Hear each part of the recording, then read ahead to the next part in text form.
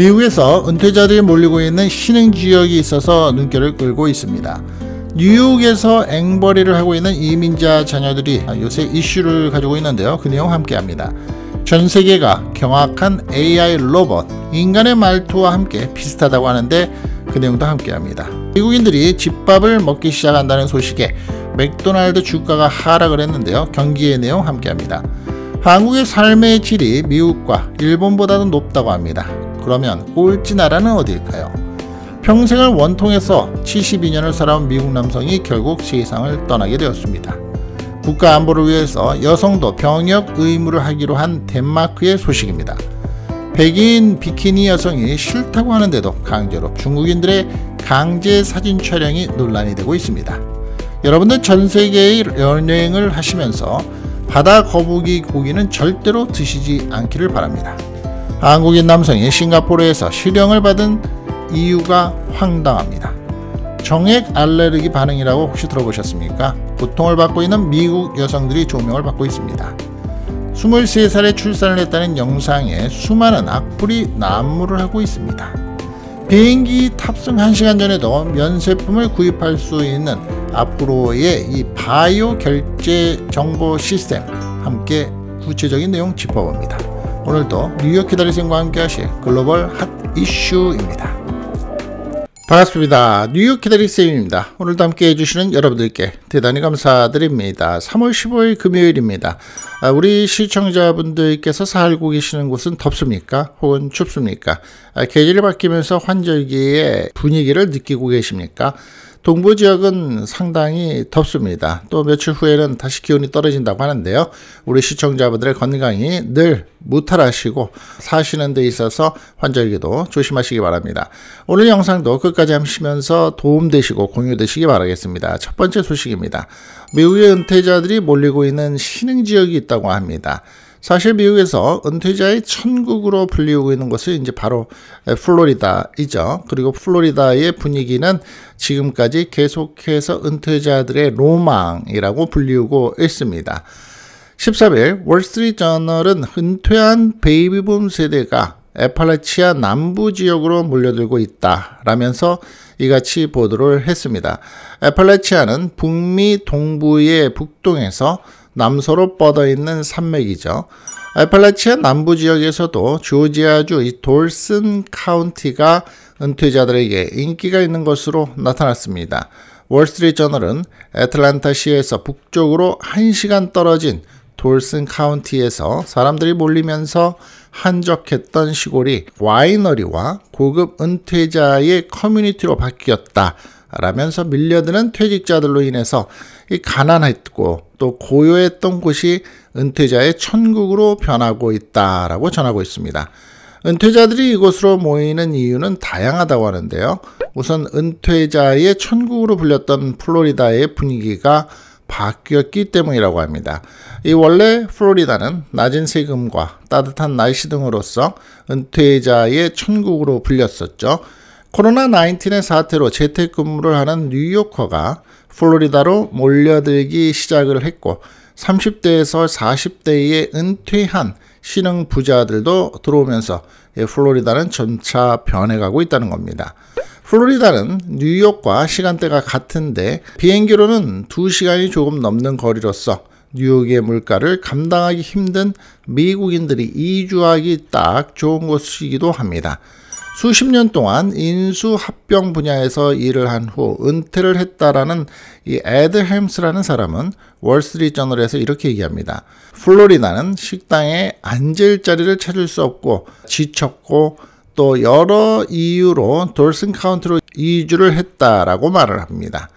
돌슨 카운티의 물가가 상대적으로 더 저렴하고 세금이 낮은 것도 이유가 된다고 합니다. 이 월스트리트 저널은 대체로 따뜻한 날씨, 낮은 허리케인 발생 가능성도 은퇴자가 몰려드는 이유라고 설명을 했습니다. 여러분들은 이쪽에 아틀란티 시디 또 조지아 쪽에 살고 계시는 분들은 이쪽의 도시에 대해서 카운티에 대해서 잘 알고 계십니까? 사실 저는 처음 들었습니다. 주변 환경이 어떤지는 잘 모르겠습니다만 혹시 잘 알고 계시는 분들이 계시다면 댓글로 우리 시청하시는 분들과 함께 정보를 좀 공유하시면 어떨까 하고 제안을 해봅니다. 뉴욕에서 앵벌이를 하는 이민자 자녀들이라는 주제인데요. 사실 우리가 볼 수 있는 모습이기도 하고 앵벌이 국어를 한다 그러죠. 국어를 하고 있는 모습은 우리 한국에서도 수십 년 전에 아주 비일비재하게 볼 수 있었던 일입니다. 어떤 일인가 한번 들어보시겠습니다. 미국의 일간 뉴욕타임즈는 13일 학령기에도 즉 공부를 하는 나이임에도 불구하고 학교에 가지 못하고 뉴욕 지하철에서 사탕을 파는 이민자 어린이들에 대해서 보도를 했습니다. 미국의 뉴욕 브롱스의 한 지하철역 플랫폼에는 7살에서 8살로 보이는 여자아이가 M&M, 키캣, 초콜릿이죠. 트라이던트 껌이 가득 든 바구니를 메고 사람들 사이를 지나다닙니다. 또 다른 16세의 여자아이는 평일 오전 뉴욕의 맨하튼 지하철역에서 사탕을 팔고 있습니다. 이 아이는 부모님을 도와야 해서 이 일을 하고 있다 라고 말을 합니다. 뉴욕 지하철의 사탕팔이 어린이들의 대부분은 에콰도르인이라고 이민자 지원가들이 설명을 하고 있습니다. 뉴욕시에 따르면 지난 2년간 이민자 약 18만 명이 뉴욕으로 왔다고 합니다. 이 중에서 약 6만 5천 명이 노숙자 보호소에 머무는 것으로 집계가 됐고요.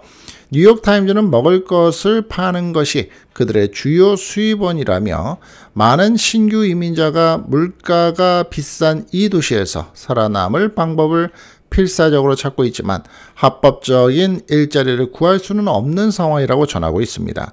미국에서 6세에서 17세 사이의 어린이 청소년은 교육을 받아야 하는 의무가 있으며 14세 미만의 노동은 대부분 금지가 됩니다. 즉 14세 미만의 아이가 알바를 하는 것도 금지가 되는 거죠. 지하철에서 허가 없이 판매 행위를 하는 것도 불법입니다. 즉 이민자 가정의 아이가 학교에 갈 시간에 지하철에서 사탕을 파는 일은 여러 법령을 위반하는 것이라고 뉴욕타임즈는 지적을 하고 있는 겁니다. 자, 이러한 가운데 저는 개인적으로 한국의 미래에 대해서도 한번 그림을 그려봅니다. 이민자를 많이 받아들이고 있고 지금 노동력 때문에 대한민국도 전 세계에 있는 필요로 하는 나라의 사람들을 많이 받아들일 제도와 비자를 많이 만들고 있습니다.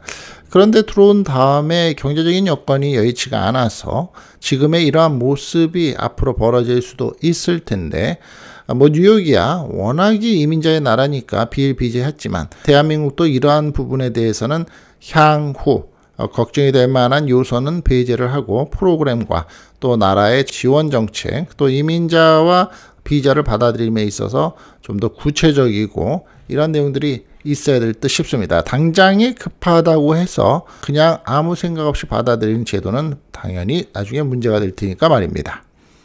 전 세계가 경악하고 있는 AI 로봇, 인간의 말투와 비슷하게 어눌한 말투까지 하고 있다고 합니다. 즉, 더듬더듬 말을 하는 것까지 했다고 하는데요. 인간처럼 말도 더듬으며 실시간으로 대화를 하고 행동을 하는 휴머노이드 로봇이 공개가 되면서 충격을 주고 있습니다.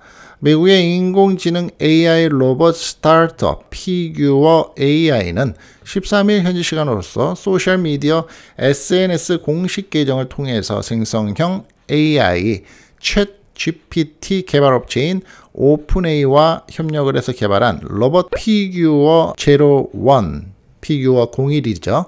새로운 영상을 공개했는데요. Figure zero one은 OpenAI의 ChatGPT가 적용된 휴머노이드 로봇이라고 합니다. Figure AI는 X, 옛날에 트위터죠. X에 2분 35초짜리 Figure zero one 영상을 올리며 OpenAI와의 파트너십 Figure zero one은 이제 사람과 완전한 대화를 나눌 수 있다고 밝혔습니다. Figure zero one은 실험자가 쓰레기를 테이블 위에 놓으며 쓰레기를 치우면서 방금 한 일을 설명해 달라라고 요구를 하자 실험자가 준 바구니에 쓰레기를 주워 담으며 테이블 위의 물건 중 사과가 유일하게 먹을 수 있는 것이라서 주었다라고 설명을 했습니다. 또 테이블 위에 놓인 접시와 컵이 어디로 가야 하느냐라는 질문에는 식기 건조대로 가야 할 것 같다라고 답을 했고 그것들을 옮겨달라는 요구에 컵과 접시를 식기 건조대로 옮겨서 정리를 했다는 겁니다.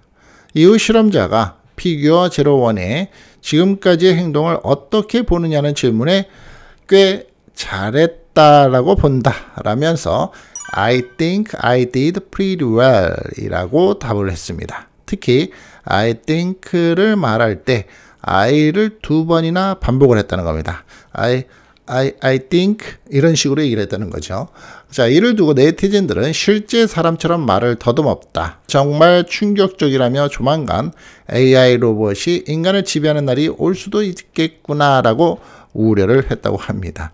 웃을 일이 아니죠. 당연히 이런 날이 조만간 올 듯 싶습니다. 가만히 생각해 보면 우리가 스마트폰 핸드폰에 대해서 그냥 폴더블 폰이 아니라 이런 컴퓨터를 들고 다닐 날이 올 줄 언제 알았겠습니까? 그렇죠? 불과 20년 전만 해도 몰랐고 삐삐를 손에 쥘 때만 해도 굉장히 신기했었던 시절이 있는데 지금은 스마트폰이 전 세계의 아주 필수품이 된 날이 왔지 않습니까? 사람이 운전을 하지 않아도 차가 가는 그런 날이 왔으니까 말입니다. 미국인들이 집밥을 먹기 시작했다라는 소식에 맥도날드 주가가 하락을 해버렸습니다. 외국의 일부 저소득층 소비자들이 고물가의 외식을 줄이고 집밥을 먹기 시작을 하면서 세계 최대 햄버거 체인인 맥도날드의 비상이 켜진 겁니다. 13일 CNN에 따르면 이안 볼든 맥도날드 최고 재무책임자 CFO는 이날 투자자 컨퍼런스에서 지금은 소비자 환경이 매우 어렵습니다. 저소득층 소비자는 높은 금리와 인플레이션, 코로나 19 기간 축적했던 저금을 거의 소진하는 등 어려운 환경에 있습니다. 라고 말을 합니다. 이어서 저소득층 소비자 일부는 외식 물가 때문에 외식을 하는 대신에 집에서 더 자주 식사하고 있습니다. 라고 말을 했습니다. 맥도날드는 이러한 상황에 대응을 해서 미국 내 매장 10곳 중 9곳에서 4달러, 즉 5,300원 미만의 가격대의 상품을 판매한다고 합니다. 볼든 CFO는 이렇게 얘기합니다. 높은 가성비는 우리 브랜드의 핵심이라며 저소득층 소비자들은 우리 브랜드의 더욱 합리적인 가격 옵션과 큰 가성비를 기대하고 있다라고 강조를 했습니다. 해당 소식이 전해진 이후에 맥도날드 주가는 3.89% 하락을 했다라고 합니다. 자, 여러분들은 사시면서 삶의 질 어떻게 생각하십니까? 높다고 생각하십니까? 적당하다. 아니면 삶의 질이 굉장히 떨어지고 있다라고 생각을 하십니까? 저는 전반적으로 삶의 질이 좀 떨어진다라고 생각을 참 많이 하는 사람 중에 한 사람인데요. 한국의 삶의 질이 미국과 일본보다 높다고 합니다. 그러면 꼴찌 나라는 어디일까요? 유엔 개발 계획 유엔 개발 계획이라는 것이 이제 UNDP입니다. 약자가 유엔 개발 계획이 각국 주민 삶의 질을 평가한 인간 개발 지수 즉 HDI 순위에서 한국이 19위를 기록했습니다. UNDP가 13일 홈페이지에서 공개한 2023 그리고 2024 인간 개발 보고서에 따르면 한국의 HDI는 2022년 기준 0.929로 집계가 됐습니다. 조사 대상 193개국 가운데 19위로 평가가 돼서 20위였던 전년도보다 한 계단 올랐다고 합니다. HDI는 기대 수명과 기대 교육 연수, 평균 교육 연수, 1인당 국민 소득, 그것을 지표를 토대로 해서 매겨진다고 합니다. 한국의 2022년 기대 수명은 84년, 기대 교육 연수와 평균 교육 연수는 각각 16.5년과 12.6년, 1인당 GNI는 구매력 평가의 기준으로서 4만 6,026달러, 하나로는 6천만 원이 평가가 됐습니다. 스위스가 지난해에 이어서 올해도 HDI 순위 1위를 차지했고요.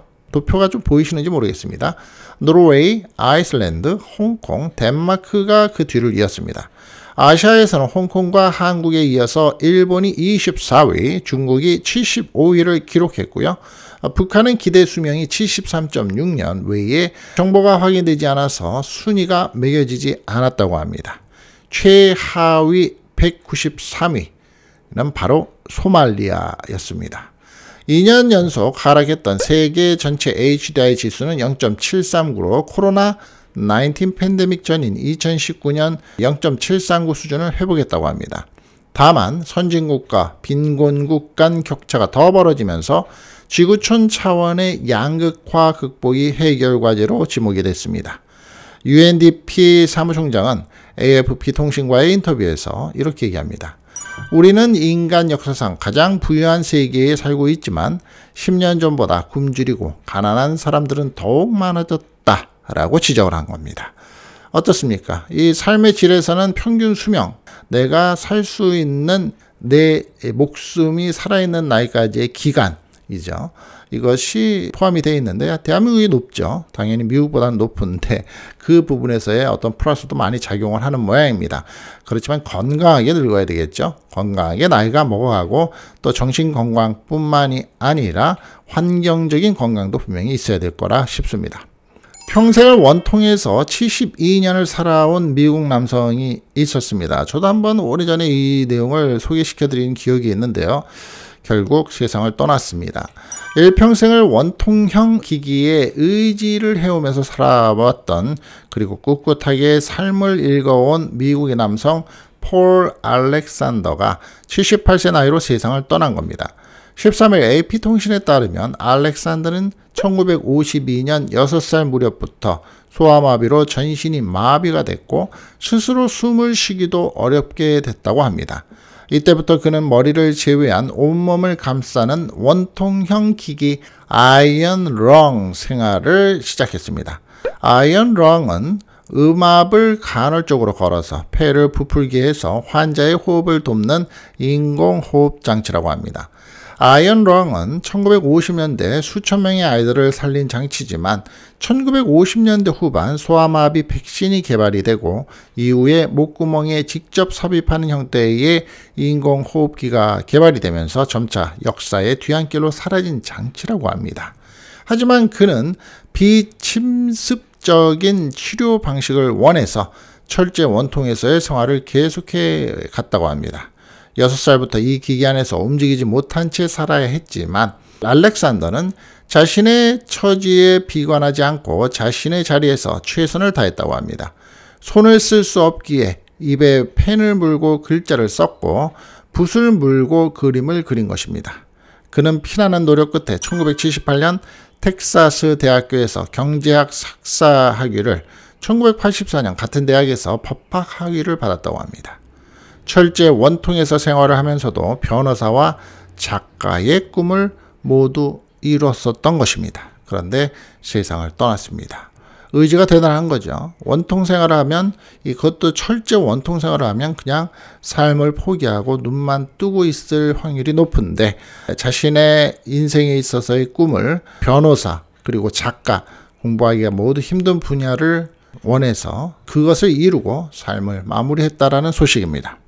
국가 안보를 위해서 여성도 병역 의무를 하기로 한 덴마크 소식입니다. 우리 대한민국도 이런 얘기가 지금 계속 나오고 있고 아마 먼 훗날에는 이 얘기가 긍정적이지 않을까 하는 전 개인적인 생각이 있습니다. 왜? 인구가 워낙에 줄고 있기 때문에 말입니다. 덴마크가 남성에게만 있는 병역 의무를 여성에게도 부과하기로 했다고 합니다. 러시아의 우크라이나 침공으로 커진 안보 위기에 대응을 하고 이 성평등도 실현을 하겠다는 취지라고 합니다. 덴마크 총리는 13일 기자회견에서 징병 대상을 남성뿐만이 아니라 여성으로까지 확대를 하고 최소 복무 기간도 현행 4개월에서 11개월로 늘리기로 했다고 밝혔습니다. 현재 덴마크에서 18세 이상 남성들은 의무 입영 대상이라고 합니다. 군 복무 기간은 병과나 보직에 따라서 통상 4개월에서 12개월이며 특수 임무의 경우 24개월까지 복무를 한다고 합니다. 다만 입영 대상자에 비해서 병력 규모가 적기 때문에 추첨을 통해서 실제 입영자를 추리고 있다고 합니다. 여성의 경우는 군복무의 의무가 아닌 선택이라고 합니다. 덴마크는 2만 명의 정규군과 7만 명의 민방위군을 운영하고 있는데 이 중에 여군 전력 비중이 4분의 1가량인 것으로 알려졌습니다. 덴마크는 남녀 모두 징병 대상에 포함시키는 방향으로 내년까지 병역법을 개정한 뒤에 2026년부터 징집병 숫자를 현재의 4,700명에서 5,000명으로 늘린다는 계획이라고 합니다. 이 같은 병역법 개정을 주도한 이 프레데릭센은 덴마크 역사상 두 번째 여성 총리로 2019년에 취임을 했다고 합니다. 여성 총리가 여성도 군대를 가는 걸로 지금 만든 거네요. 그렇죠? 백인 비키니 여성이 싫다고 하는데도 중국인들의 광제 사진 촬영이 지금 논란이 되고 있고 국가 망신을 시켰다는 얘기가 되고 있습니다. 사진을 보시면서 들어보시면 좋을 것 같습니다.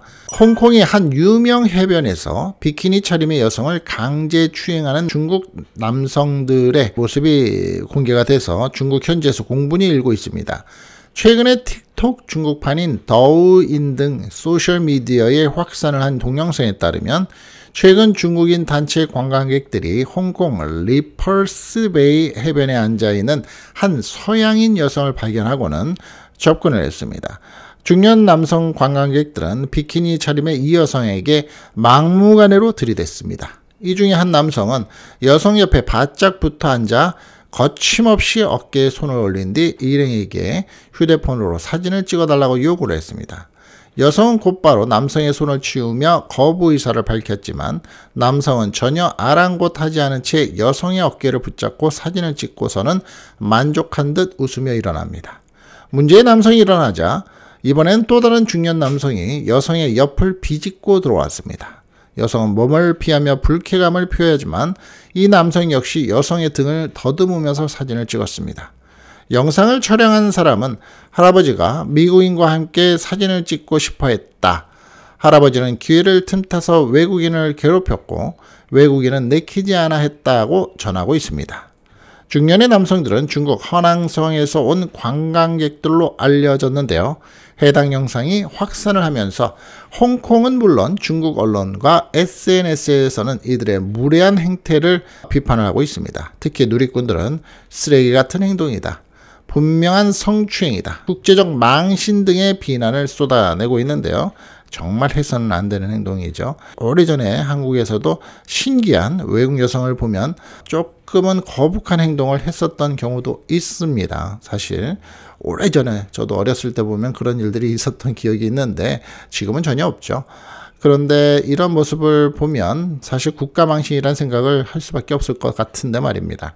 여러분들 전 세계적으로 여행을 참 많이 다니실 겁니다. 여행을 다니는 이유 중에 하나는 그 나라의 문화와 관습 그리고 음식을 경험해 보는 것이 가장 큰 이유이기도 합니다. 그런데 이 바다 거북이 고기 요리는 절대로 먹지 마셔야 될 것 같습니다. 바다 거북 고기를 먹고 수십 명이 죽거나 병원으로 이송이 된 일이 있습니다. 아프리카 탄자니아의 잔지바르에서 일어난 비극적인 사건인데요. 9일 외신에 따르면 진지바르 펜바섬에서 바다거북 고기를 먹은 어린이 8명과 성인 1명이 숨졌고 78명은 입원을 했다고 합니다.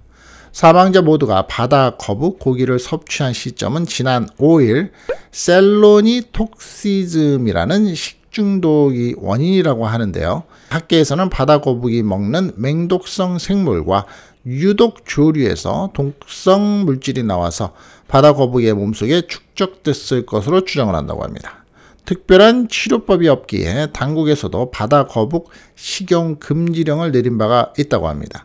그러나 해안 지역의 주민들은 여전히 바다 거북 고기를 즐겨 먹고 있다고 합니다. 자, 그런데 일본 같은 경우에서는 굉장히 고급 요리 중에 하나가 이제 자라 고기죠. 자라탕도 그렇고. 그런데 조심해서 드셔야 될 듯 싶습니다. 한국 사람이 싱가포르에서 실형을 받은 이유가 있습니다. 아주 황당한 이유인데요. 자신에게 불쾌감을 표시한 여성에게 발기부전 치료 약물을 탄 음료를 마시게 한 한국인 남성이 싱가포르에서 실형을 선고받은 겁니다. 현지 시각 14일 채널 뉴스 아시아 등 싱가포르 매체에 따르면 싱가포르 법원은 발기부전 치료제로 사용이 되는 타다라필 가루를 피해자가 마시던 버블티에 탄 혐의로서 33살 한국인 김모 씨에게 징역 4개월을 선고한 겁니다. 공소장에 따르면 사진을 취미로 하던 김 씨는 지난해 11월 실내 스포츠 시설에서 서핑을 하던 피해자를 촬영했다고 합니다. 김 씨는 자신이 찍은 사진을 보여주려고 피해자에게 다가갔지만 피해자는 허락 없이 자신을 촬영한 것에 불쾌감을 표시하며 자리를 피한 겁니다. 앞서 말씀을 드렸던 중국 노인들, 중년 남성들의 상황하고 좀 비슷하죠. 김 씨는 피의자가 음료와 소지품을 놓아둔 테이블을 찾아서 타다라필 가루를 물에 녹여서 버블티 입구를 찢은 뒤에 넣은 것으로 조사가 됐습니다. 피해자는 이를 마시고 어지러움을 느끼던 중 버블티 포장에 묻은 하얀 가루를 발견해서 경찰에 신고를 했다고 합니다. 혐의를 부인하던 김 씨는 CCTV를 보여주자 감정을 통제할 수 없었다고 범행을 인정한 겁니다. 법정에서 김 씨는 피해자와 대화할 때 영어를 알아듣지 못해서 감정을 주체할 수 없었다. 피해자의 영어를 착각했고 이에 화가 나서 그런 행동을 했다고 진술을 했습니다. 참 어이가 없네요. 그렇죠? 여러분들 정액 알레르기라고 들어보셨습니까? 정액 알레르기 반응으로 고통을 받는 미국 여성이 있다고 하는데요. 미국에서 한 여성이 정액 알레르기로 고통받고 있는 사연이 알려졌습니다. 최근에 미국 뉴욕 포스트에 따르면 미국 미네소타주 미니에폴리스에서 거주하고 있는 앨리슨 테리슨이라는 34살은 정액 알레르기를 겪고 있다라고 밝혔습니다. 시멘 알러지라고 하는데요. 앨리스는 내 피부가 정액에 닿으면 화끈거리거나 타는 듯한 느낌이 든다고 토로를 하고 있는 겁니다. 그는 혈액 응고 장애도 앓고 있으며 콘돔에도 알레르기 반응을 보인다고 앨리스는 말을 이렇게 하는데요. 나는 항상 아이를 갖고 싶지만 쉬운 일이 아니다 라면서 건강상의 문제에도 불구하고 남편과 함께 임신하기 위해서 모든 방법을 찾기를 원한다고 말을 합니다. 앞서서 영국 매체 더 선도 앨리슨과 같은 정액 알레르기를 가진 미국 콜로라도주의 여성 클로이 로위 20살의 사례를 소개한 바도 있다고 하네요. 로이는 정액이 피부에 닿으면 피부가 빨갛게 변한다며 3시간 동안 오른쪽 얼굴이 마비가 된 적도 있다 라고 말을 합니다. 다소 생소한 정액 알레르기는 정액 혈장 과민증으로서 불린다고도 합니다. 정액 속에 있는 단백질 문제를 일으키는 질환이라고 하는데요. 정액 알레르기 반응은 주로 성관계의 한 상대 여성에게 나타난다고 합니다. 피부병이나 성병과 증상이 비슷해서 의사들도 종종 오진을 하기도 한다고 합니다. 정액이 몸에 닿았을 때 가려움증, 화끈거림, 두드러기 등 국소적인 증상이 나타날 수 있으며 전신 증상으로 호흡곤란과 아나필락시스, 알레르기 쇼크죠. 저도 이걸 가지고 있습니다만 이 증상 가지고 있으면 아주 겁이 나죠. 잘못하면 세상을 떠나니까 말입니다. 그런데 이제 아나필락시스까지 발생할 수 있다고 합니다. 특히 아나필락시스는 급격하게 진행되는 중증 알레르기 반응인데요. 여러분들 상식적으로 알아두시면 좋을 것 같습니다. 한국에서 23살에 출산을 했다는 영상을 올린 사람이 있습니다. 그런데 수많은 악플이 난무하고 있습니다. 20대에 출산하면 좋다는 주장을 담은 영상을 SNS 소셜 네트워크에 올린 여성에게 악플, 즉 악성 댓글이 쏟아진 겁니다. 최근에 여러 온라인 커뮤니티에는 여초의 좌표에 찍힌 20대 애엄마 인스타라는 제목의 글이 확산이 됐는데요.